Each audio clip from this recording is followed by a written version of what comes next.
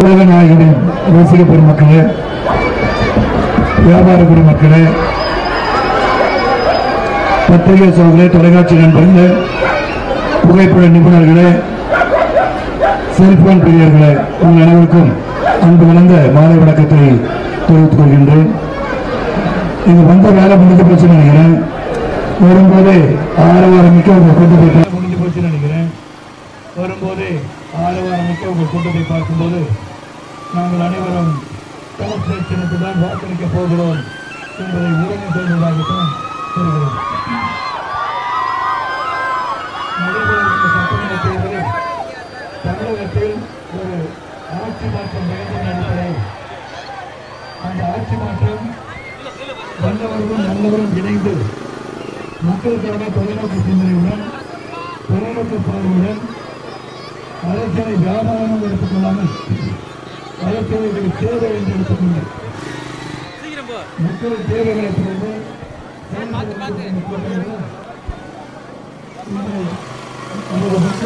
கூட்டணி அதில் மக்கள் நீதி மையத்தின் வேட்பாளர் எங்கள் கூட்டணியின் தலைவர் கமலஹாசன் அவர்கள் தெற்கு தேர்தல் வேட்பாளராக இருக்கிறார்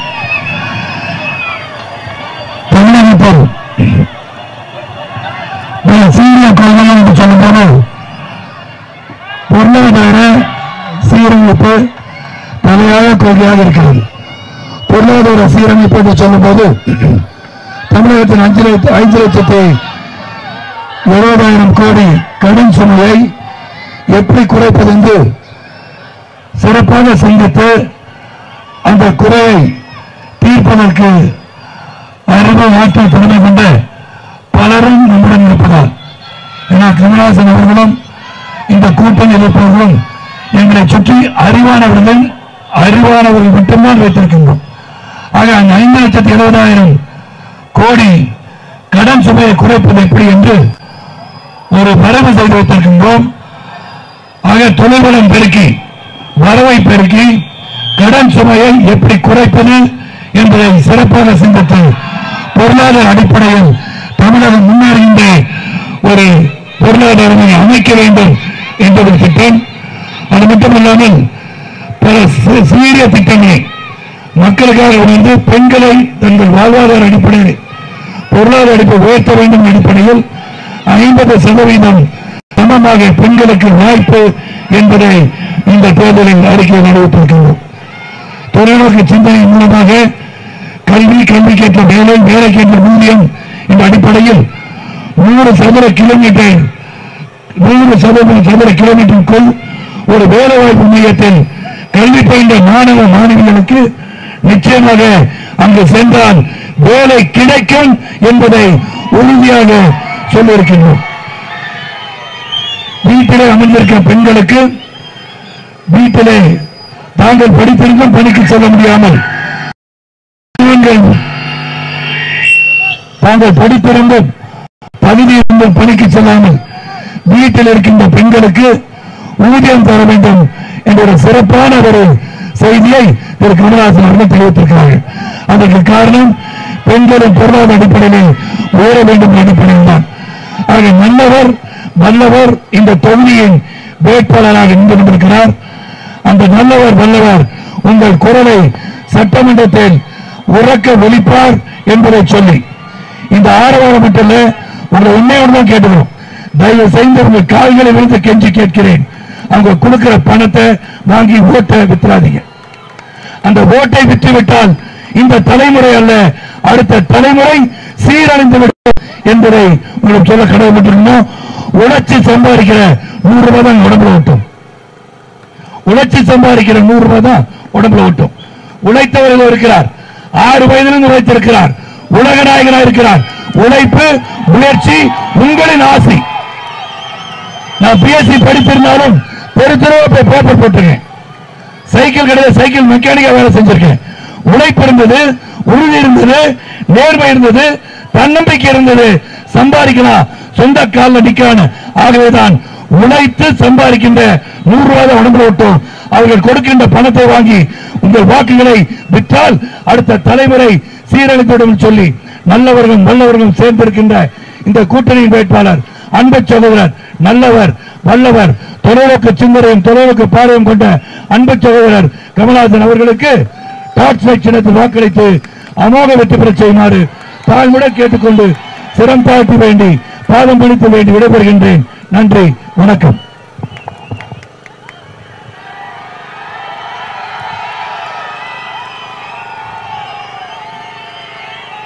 உயிரே உறவே தமிழே வணக்கம். சகோதரர் சரத்குமார் அவர்கள் இங்கு நல்லவருடன் கூட்டணி வைக்க வேண்டும் வல்லவருடன் கூட்டணி வைக்க வேண்டும் என்ற எண்ணத்தில் வந்தமைக்கு முதற்கு நன்றி. நீங்களும் அவ்வாறாகவே இங்கே வந்திருக்கிறீர்கள் என்று நான் நம்புகிறேன்.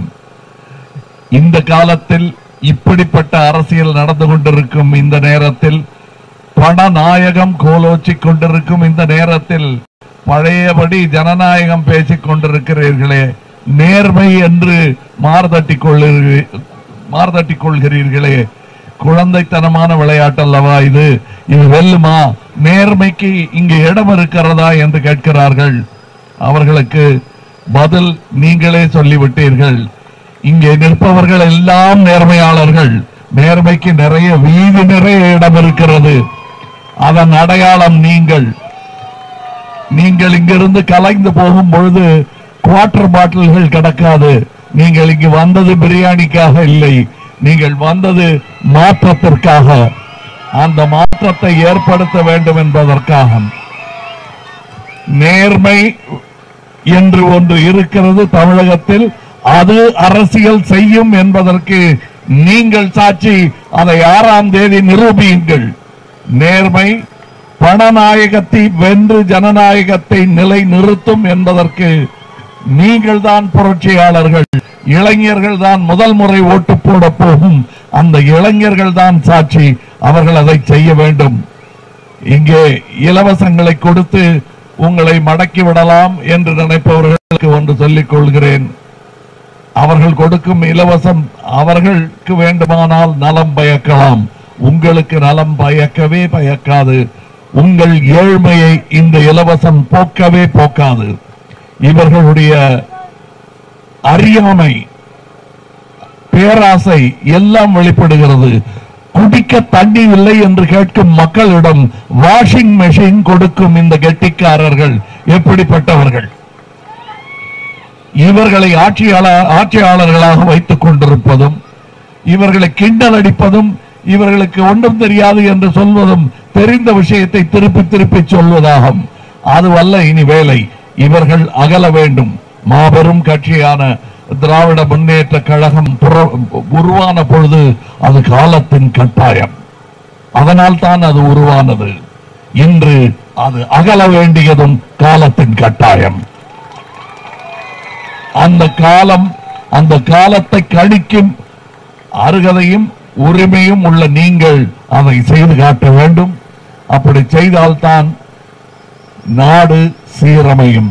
ஒரு ஊழல் கட்சிக்கு மாற்று இன்னொரு ஊழல் கட்சியாக இருக்கவே முடியாது என்ற நியாயத்தை நான் உங்களுக்கு சொல்லி தெரியப்படுத்த வேண்டியதில்லை. நேர்மையாக வந்திருக்கிறோம். எங்களை நேர்மை பழக விடுங்கள். எங்களை போற்றுங்கள். எங்களை தூக்கி தோளில் பிடியுங்கள். நாங்கள் செய்வது சரி என்பதை எங்களுக்கே நீங்கள் ஊர்ஜிதப்படுத்தி நம்பிக்கை கொடுத்தால்தான் நேர்மை வாழும். நேர்மை என்பது உடற்பயிற்சி போன்றது. இங்க எனக்கும் தெரியும் சரத்கா அவர்களுக்கும் தெரியும். அது ஒரு வாட்டி சேர்த்து வச்சுட்டா பேங்க்ல இருக்கிற டெபாசிட் மாதிரி இல்ல. நேர்மை ஆரோக்கியம் போன்றது. அதை நிதம் பேழ வேண்டும் நிதம் பழக வேண்டும். அதை நீங்களும் செய்ய வேண்டும். அதனால் தான் சொல்லுகிறேன் இந்த பணத்தை வாங்கிட்டு அஞ்சு வருஷம் குத்தகைக்கு உங்களை யாரும் விலைக்கு வாங்க விட்டுறாதீங்க. நற்பணிகள் பல நாங்கள் நாற்பது வருடமாக செய்து உங்களுக்கு நிரூபித்திருக்கிறோம் என்று அதன் நீட்சியாக அதன் அஹ், அதைவிட பெரிய ஒரு மக்கள் சேவையை நாங்கள் செய்து காட்ட அதிகாரத்தை கேட்கிறோம். அவ்வளவுதான். அனுமதியை கேட்கிறோம். அந்த அனுமதியை நீங்கள் தந்தால் அந்த அனுமதியை நீங்கள் தந்தால் நான்கு வருடங்களுக்குள் கோவை தெற்கு தொகுதியை மற்ற தொகுதிகளுக்கு முன்னுதாரணமாக மாற்றி காட்ட வேண்டும் என்பதுதான் என்னுடைய ஆசை. இது இது உறுதிமொழி இல்லை. என்னுடைய இலக்கு. இதை செய்யாமல் நான் ஓய மாட்டேன் தலை சாய மாட்டேன். இங்கே இங்கே இங்கே வந்திருந்து எங்கள் முயற்சிக்கு பலம் சேர்த்த சரத்குமார் அவர்களுக்கும் அவர்கள் கட்சிக்கும் எங்கள் கூட்டணி கட்சிகளுக்கும் மிகவும் நன்றி. அவர்கள் அவர்களுடைய வேட்பாளர்களுக்கும் எங்கள் வாழ்த்துக்கள். பல இடங்களில் அவர்களும் வென்று இதை செய்து காட்ட வேண்டும். இந்த புரட்சியை செய்து காட்ட வேண்டும். இந்த புரட்சியில் பெரும் பங்கு இந்த புரட்சியின் நாயகர்கள் நாங்கள் அல்ல நீங்கள் தான் அதை நீங்கள் செய்து காட்ட வேண்டும். மக்களின் தொண்டர்களாக நாங்களும் நீங்கள் தலைவர்களாகவும் இருப்பதுதான் இனி நடக்கும் அரசியலாக இருக்க வேண்டும் என்பதை கேட்டுக்கொண்டு அப்படி செய்தால் நாளை நமதாகும் என்பதை உங்களுக்கு நினைவுறுத்தி நாளை நமதே எனும் கோஷத்துடன் விடைபெறுகிறேன். நாளை நாளை நாளை நன்றி வணக்கம். நடைபெற இருக்கின்ற சட்டமன்ற தேர்தலில் நல்லவர் வல்லவர் நம்பவர் உங்களுக்காக உழைக்க வந்திருக்கின்ற அன்பு சகோதரர் கமலாசன் அவர்களுக்கு டார்ச் லைட் சின்னத்தில் வாக்குகளை சேகரிக்க நாங்கள் வந்திருக்கின்றோம். ஒரு சிறந்த கூட்டணி இந்த கூட்டணி நல்லவர்களும் வல்லவர்களும் தொலைநோக்கு சிந்தனையும் தொலைநோக்கு பார்வையுடன் மக்களுக்காக பல சீரிய திட்டங்களை செயல்படுத்துகின்ற ஒரு கூட்டணி தான் மக்களின் முதல் கூட்டணி. இந்த கூட்டணியில் நமது வேட்பாளர் உலக நாயகன் அன்பு சகோதரர் கமலஹாசன் அவர்கள் இந்த தொகுதியின் வேட்பாளராக திரைப்படங்களில் ஆறு வயது முதல் தன் வாழ்க்கை பயணத்தை துவங்கி கடுமையான உழைப்புக்கு பிறகு இந்த உலக நாயகனாக உலகம் போற்றுகின்ற ஒரு கலைஞனாக இருந்து வருகிறார். தன் கலைத்துறை பயணத்தில் மக்கள் சேவை கொண்டு நற்பணி இயக்கங்கள் மூலமாக பல சேவைகளை மக்களுக்கு செய்து வந்திருக்கிறார் என்பது உங்களுக்கு தெரியும்.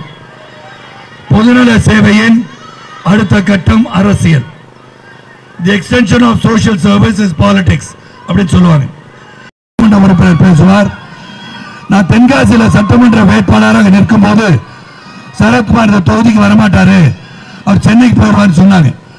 ஆனால் சட்டமன்றத்திலே இதுவரை சட்டமன்றத்திலே கேட்கப்பட்ட கேள்விகளில் அதிகமான கேள்வியான எட்டாயிரம் கேள்விகள் தமிழகத்திற்காக தமிழக மக்களுக்காக எட்டாயிரம் கேள்விகளை கேட்ட ஒரு சட்டமன்ற உறுப்பினராக சிறப்பாக சேவை செய்த ஒரு உறுப்பினராக இருந்திருக்கின்றேன். அதே தான் இங்கேயும்.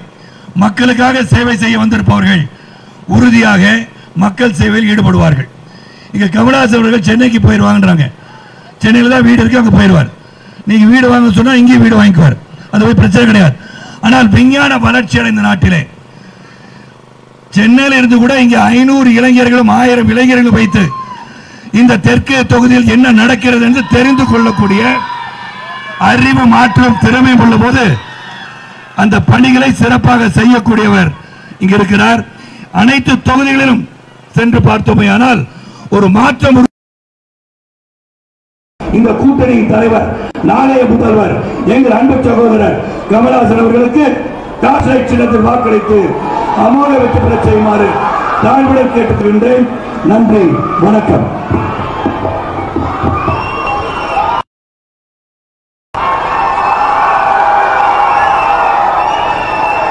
உயிரே உறவே தமிழே வணக்கம்.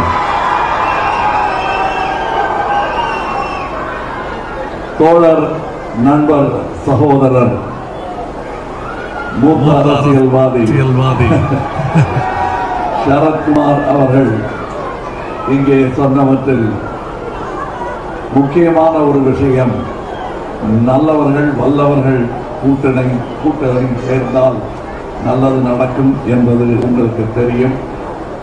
இங்கே இங்கே எங்களுக்கென்று சாதிக்க வேண்டியவைகளை சாதித்துவிட்டு நாங்கள் வாழ்ந்ததற்கான அர்த்தத்தையும் புகழுக்கான ஒரு அர்த்தத்தையும் நாங்களே உணர்ந்து கொண்டு மீண்டும் அதை உங்களுக்கு எங்களுக்கு இவையெல்லாம் கொடுத்த உங்களுக்கு நன்றி கடனாக அதை தின் பரமக்குடி வளர்ந்த ஊராக இருந்தாலும் என்னுடைய வாழ்க்கை சரிதம் எழுதப்படும் பொழுது அல்லது நான் எழுதும் பொழுது என்னுடைய அரசியல் பிறந்த இடம் தெற்கு கோவை என்றே இருக்கும். அதை யாரும் மாற்ற முடியாது. ஆக நான் என் அரசியல் பிறந்த ஊரிலிருந்து நான் பேசிக் கொண்டிருக்கிறேன். இது விமர்சனங்கள் வைப்பதாக இருந்தால் நாங்கள் எங்களுக்கு கொடுக்கப்பட்ட நேரத்திற்குள் செய்த வேலைகள் சரிவர இல்லை என்று சொல்லட்டும் அவர்கள் விமர்சனம். நான் சொல்லுகிறேன் தெற்கு தொகுதியை தமிழகத்தின் மட்டுமல்ல இந்தியாவின் உதாரண தொகுதியாக மாற்றி காட்ட வேண்டும் என்று வெறும் வீராப்பு பேசுவதல்ல திட்டங்களுடன் நான் வந்திருக்கிறேன். அதனால் தான் என்னை இவர்களுக்கு எல்லாம் தெரியும். இவர்கள் அரசியல்வாதிகளை சந்தித்திருக்கிறார்.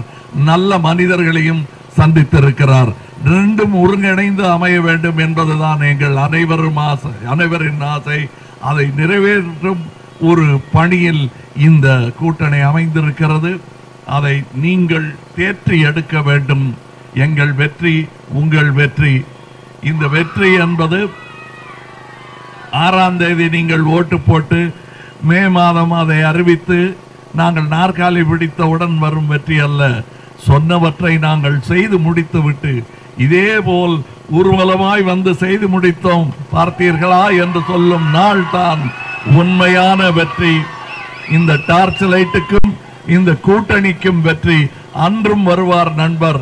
வந்து போல் செய்தார் என் நண்பர் என்று என் தோளையும் தட்டி தன் தோளையும் குலுக்கி பெருமை பேசுவார். அந்த பெருமைதான் எனக்கு பெருமை. இன்று உங்களிடம் அனுமதி கேட்க வந்திருக்கிறோம். அதற்கான ஏற்பாட்டில் உங்கள் பங்களிப்பும் இருக்க வேண்டும் என்பதை கேட்டுக்கொள்கிறேன். அப்படி செய்தால் நாளை நமதாகும். நாளை! நாளை! நாளை! நன்றி வணக்கம்.